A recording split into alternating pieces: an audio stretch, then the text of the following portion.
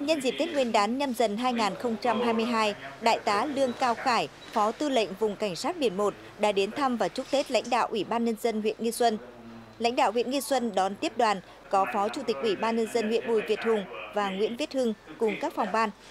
Thay mặt Bộ Tư lệnh Vùng Cảnh sát Biển 1, Đại tá Lương Cao Khải, Phó Tư lệnh đã thăm hỏi sức khỏe, cảm ơn sự quan tâm của các đồng chí lãnh đạo, đội ngũ cán bộ, công chức, viên chức Ủy ban Nhân dân huyện Nghi Xuân trong thời gian qua đã có nhiều sự phối hợp đối với lực lượng cảnh sát biển trong công tác phòng chống tội phạm trên biển. Nhân dịp đầu xuân năm mới nhâm dần 2022, thay mặt lãnh đạo Bộ Tư lệnh, Đại tá Lương Cao Khải đã gửi lời chúc lãnh đạo huyện Nghi Xuân đón Tết vui tươi đầm ấm và hạnh phúc, chúc quê hương Nghi Xuân ngày càng phát triển, Dịp này, huyện Nghi Xuân đã trao giấy khen cho Hải đội 102, vùng cảnh sát biển 1 vì có nhiều thành tích trong phối hợp thực hiện nhiệm vụ chính trị trên địa bàn huyện Nghi Xuân năm 2021.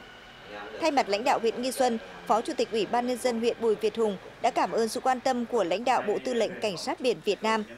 Phó Chủ tịch Ủy ban Nhân dân huyện tin tưởng thời gian tới, huyện Nghi Xuân cùng lực lượng cảnh sát biển sẽ tích cực phối hợp tham gia đấu tranh có hiệu quả tình hình vi phạm trên biển cũng như các hoạt động an sinh xã hội.